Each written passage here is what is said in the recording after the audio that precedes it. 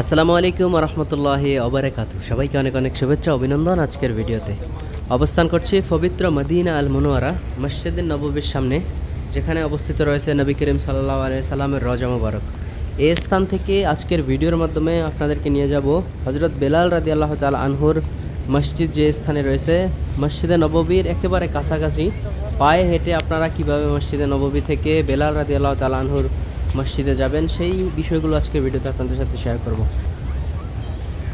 আমরা নবী করিম সাল্লাহ আলাইসাল্লামের রজা মুবারকের সামনে থেকে আস্তে আস্তে মসজিদে বেলালের দিকে অগ্রসর হচ্ছি এবং মসজিদে নববীর সামনের এই সকালবেলা কিন্তু এই মুহূর্তটি, সকালবেলার যে সুন্দর দৃশ্যগুলো আপনারা দেখছেন এখানে, সেগুলো শেয়ার করতে করতে কিন্তু আপনাদেরকে মসজিদে বেলালের দিকে নিয়ে যাব এবং কোন স্থান থেকে কীভাবে আপনারা সেই স্থানে যে পৌঁছাবেন মসজিদে নববীর সামনে থেকে নবী করিম সাল্লাহ আলাই সাল্লামের রজা সামনে থেকে, সেই দিকেই আমরা আস্তে আস্তে কিন্তু অগ্রসর হচ্ছি এখন।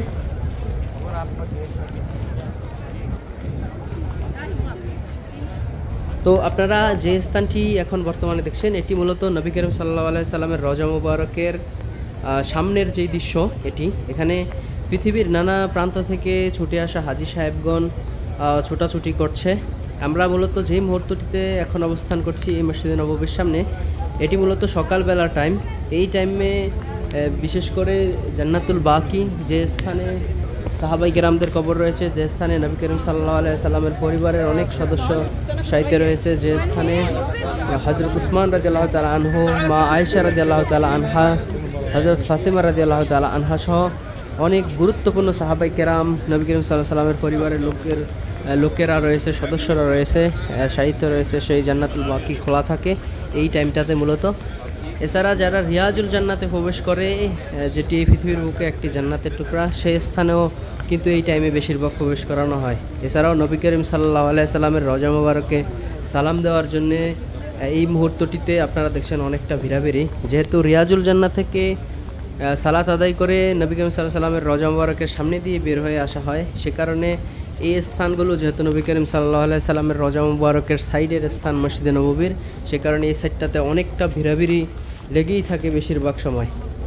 আমরা মূলত আমাদের চ্যানেল থেকে সেই জান্নাতুল বাকি এবং রিয়াজুল জান্না সংক্রান্ত, নবী করিম সাল্লাহ সাল্লামের রজা মুবারক সংক্রান্ত ভিডিও কিন্তু ইতিপূর্বে শেয়ার করেছি।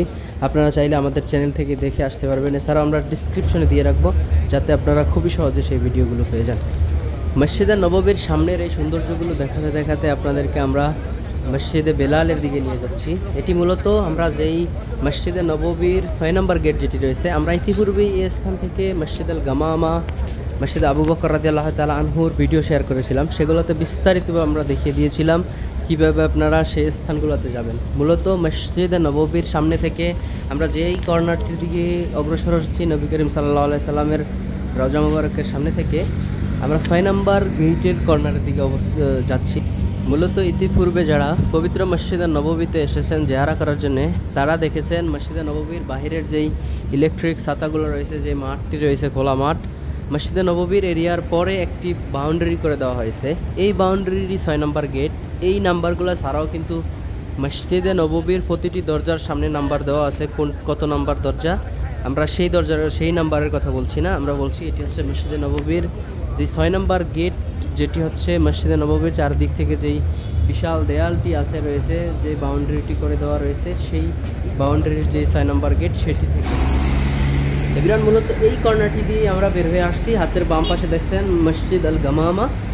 এখান থেকে আপনার যেই রাস্তাটি যাচ্ছে, হাইওয়ে যেই রোডটি রয়েছে, এখানে এই রোডের লাস্ট কর্নারে যেই মসজিদের মিনারটি দেখছেন, এটি মূলত মসজিদ আল বেলাল রাদিয়াল্লাহ তালানহু আমরা এখান থেকে আপনাদেরকে হেঁটেই নিয়ে যাব।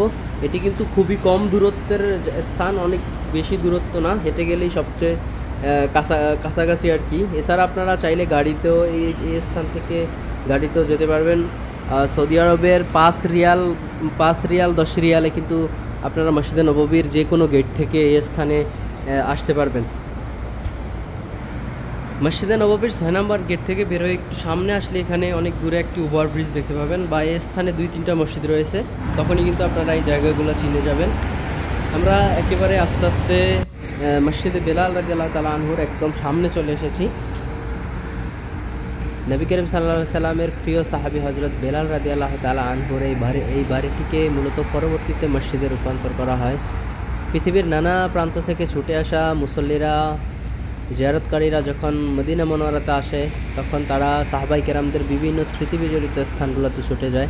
তার ভিতর অন্যতম একটি হচ্ছে এই মসজিদে বেলাল রাজি আল্লাহ তালা আনহু, যেখানে হজরত বেলাল রাজি আল্লাহ তালা আনহুর বাড়ি ছিল এবং এ স্থান থেকে আমরা আরও জানতে পেরেছি যখন নবী করিম সাল্লাহ সাল্লাম দুনিয়ার মায়া ত্যাগ করে চলে যান, আল্লাহ সুবহানা তালার ডাকে সাড়া দিয়ে রজা মুবারকে সাহিত্য আছেন নবী করিম সাল্লাহ আলাইসাল্লাম তার ইন্তেকালের পরেই মূলত হজরত বেলাল রাজি আল্লাহ তাল আনহু মসজিদে নববীর থেকে দূরের এই স্থানটিতে চলে আসেন। আমরা যে স্থানটি এখন আপনাদেরকে দেখাচ্ছি, এই স্থানটিতে এসে এখানে তিনি একটি আবাসস্থল করেন, সেই স্থানটিতে তিনি থাকেন এবং পরবর্তীতে এটিকে মূলত মসজিদে রূপান্তর করা হয়।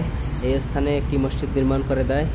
এখন এই স্থানে পৃথিবীর নানা প্রান্ত থেকে আসা জিয়ারতকারীরা এখানে আসেন, আসে জিয়ারত করেন, সালাত আদায় করেন এই মসজিদে। আমরা আপনাদেরকে আরও একটু সামনে নিয়ে যাই। মসজিদটির একদম কাছাকাছি ভিতরে নেওয়ার চেষ্টা করি। যদিও আমরা শিগুরভাবে জানি না, যেহেতু এটি সকালবেলার টাইম এই টাইমে সম্ভবত এটি খোলা নাও থাকতে পারে।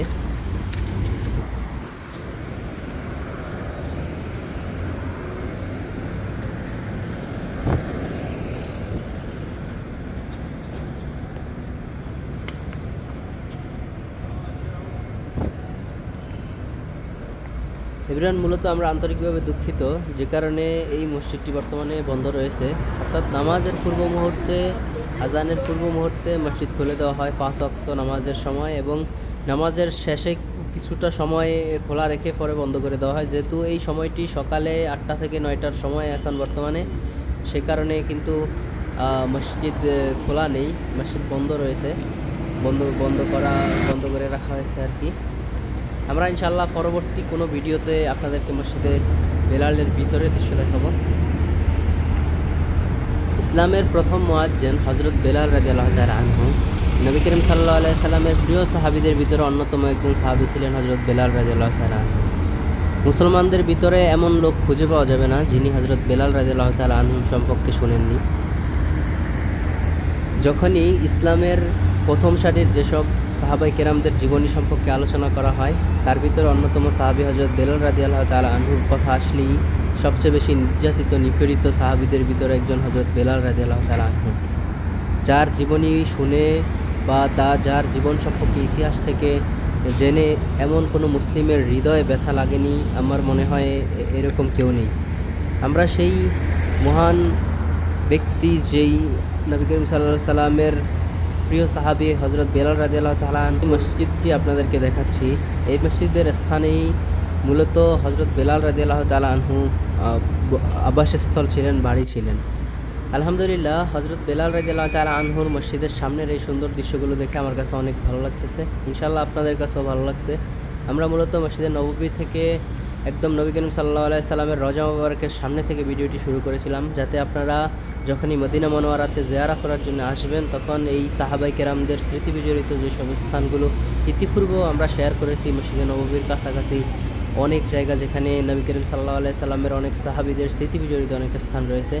তারই ধারা- ধারাবাহিকতায় আজকের ভিডিওটিও আপনাদের সাথে শেয়ার করলাম। হজরত বেলাল রাদিয়াল্লাহ তালা আনহুর স্মৃতি বিজড়িত এই স্থান যেখানে তার আবাসস্থল ছিল, যে যে স্থানটিতে তিনি বসবাস করেছিলেন। পরবর্তীতে মসজিদ নির্মাণ করা হয়েছে, মসজিদে রূপান্তর করা হয়েছে। এই স্থানগুলো দেখে ইনশাল্লাহ আপনাদের কাছে আশা করি অনেক ভালো লেগেছে এবং মসজিদে বেলালের এই স্থানে রয়েছে ফুটপাতের অনেকগুলো দোকান। যাতে আজকে ভিডিওটি অনেক বেশি লং না হয়, সে কারণে আমরা পরবর্তী কোনো ভিডিওতে সেই স্থানগুলো আপনাদের সাথে ইনশাআল্লাহ শেয়ার করব।